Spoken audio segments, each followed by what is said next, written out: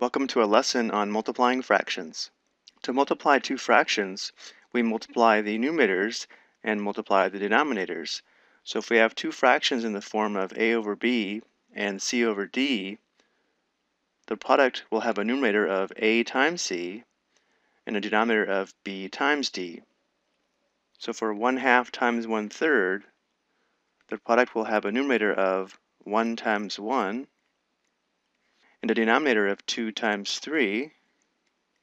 So the product would be 1 sixth.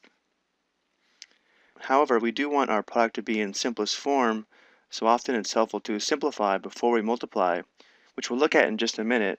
But to better understand what's happening when we multiply fractions, we can replace the multiplication with the word of. 1 half times 1 third really means we want 1 half of 1 third, which is 1 sixth. Again, 1 half of 1 third would be equal to 1 sixth. Let's take a look at a model of this problem. We'll first start by modeling the fraction 1 half and 1 third, as we see here. And then we're going to rotate this first fraction bar horizontally, so it looks like this. Again, if we want 1 half of 1 third, we're going to divide each of the horizontal parts of the second fraction vertically into two parts, and then take half of them.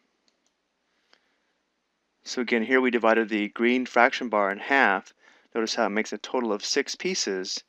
We want half of these two pieces, which gives us one of these pieces.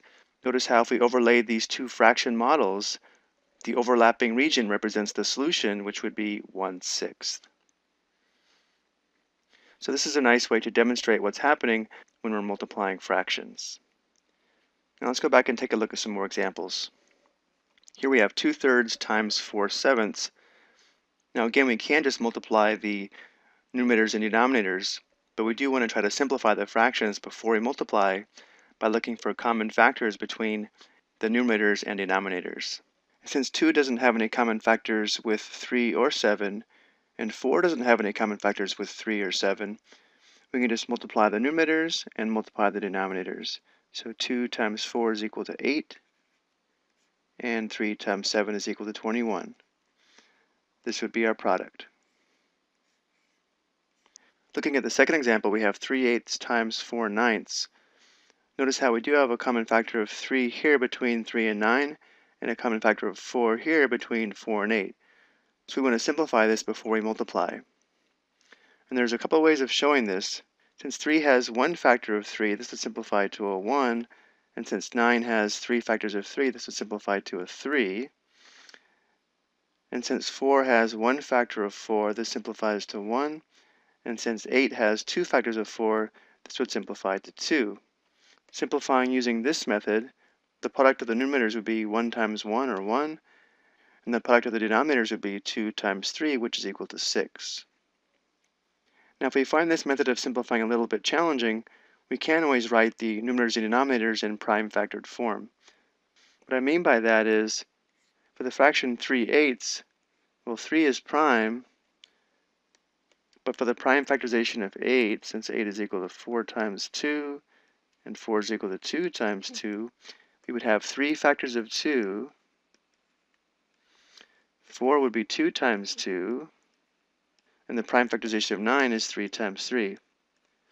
While this method takes a little bit more work up front, it is nice because you can see all of the common factors between uh, numerators and denominators. Notice here we have a 3 over a 3, a 2 over a 2, and 2 over 2. So all of those simplify to 1s, and now we can multiply knowing that our product will be in simplest form.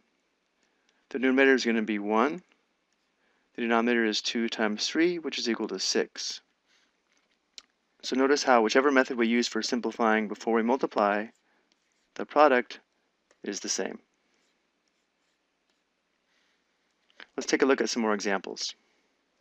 Now we have 9 sixteenths times 4 fifteenths. Again, we do have a lot of common factors here, 9 and 15 share a common factor of 3. There are 3 3s in 9 and 5 3s in 15. 4 and 16 share a common factor of 4. There's 1 4 and 4 and 4 4s and 16. So if we simplify using this method, now we can go ahead and multiply. The numerator is going to be 3 times 1, that's 3. The denominator is going to be 4 times 5, that's 20. And we have our product. But again, if we find this method for simplifying a little challenging, we could write everything in prime factored form. I'm going to go ahead and show that again. The prime factorization of 9 would be 3 times 3. The prime factorization for 16, well 16 is 4 times 4, and each 4 is 2 times 2. So we have 4 factors of 2.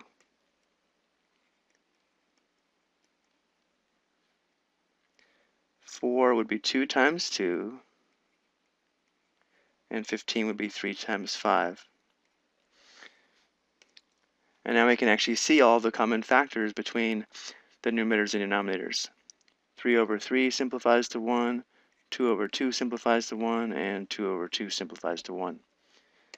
And for our product, we'll have a 3 in the numerator, and the denominator is 2 times 2 times 5, which is equal to 20. So of course the result is the same.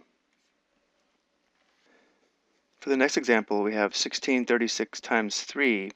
So we need this 3 to be in fraction form. So we can go ahead and put this over 1. Let's go ahead and write this as 1636 times 3 over 1.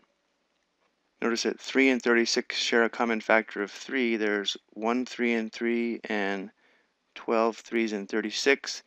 But notice that 16 and 12 also share a common factor of 4 there are four fours in 16 and three fours in 12.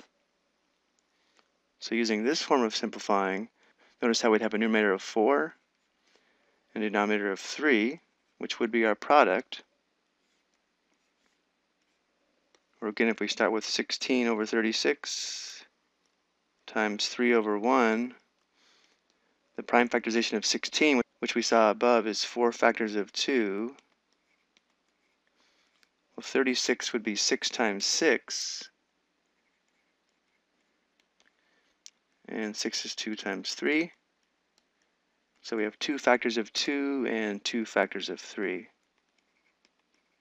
times 3 over 1. And again, this prime factorization method is a little bit more time consuming, but it is a nice way to see all of the common factors that are going to simplify to 1. Here we have 3 over 3, 2 over 2, 2 over 2 which leaves us with a numerator of 2 times 2, or 4, and a denominator of 3 times 1, which is equal to 3. Let's take a look at two more examples. Here we have 2 sevenths squared. Well, something is squared, that means we're going to have two factors of the base. So we have 2 sevenths times 2 sevenths. And since both 2 and 7 are prime, we can just multiply the numerators and multiply the denominators. So 2 times 2 is equal to 4. 7 times 7 is equal to 49.